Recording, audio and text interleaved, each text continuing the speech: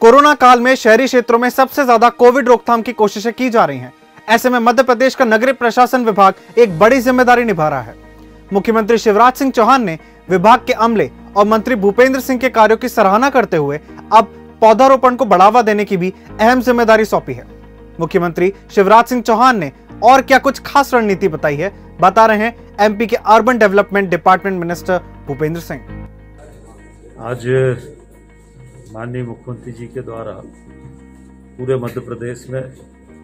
जो हमारे शहरी क्षेत्र के नगरीय निकाय के जनप्रतिनिधि हैं समाज सेवी हैं,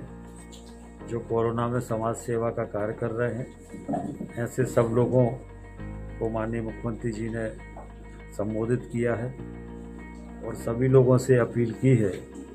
कि बिना समाज के, सहभागिता के बिना आप सबके प्रयास के ये जो कोरोना का संकट है, इस संकट का हम सामना नहीं कर सकते हैं। और इसलिए समाज की भागीदारी हो, जो क्राइसिस मैनेजमेंट ग्रुप बनाए गए हैं, जिला स्तर पर, ब्लॉक स्तर पर, वार्ड स्तर पर,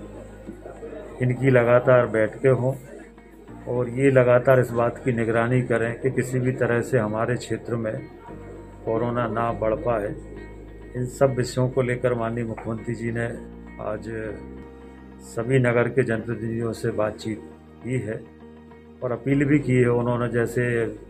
वृक्षारोपण करने के संबंध में भी उन्होंने अपील की है। बाकी और जो कोरोना से बचाव के लिए, संक्रमण रोकने के लिए जो उपाय हो सकते हैं, होम क्वारंटाइन के लिए जो उपाय हो सकते हैं बाढ़ में अगर कोई संक्रमित है तो उसके लिए कोई अगर पेशेंट है तो उसकी डेथ ना हो, उसके लिए हम लोग क्या प्रयास कर सकते हैं? तो इस तरह से ये सारी बातें आज जनप्रतिनिधि जनप्रतिनिधियों से मुख्यमंत्री जी ने की है। और पूरे प्रदेश में लगभग 40 लाख जनप्रतिनिधि समाज से भी आज इससे जुड़े थे और सभी से मुख्यमंत्री जी ने बात की है।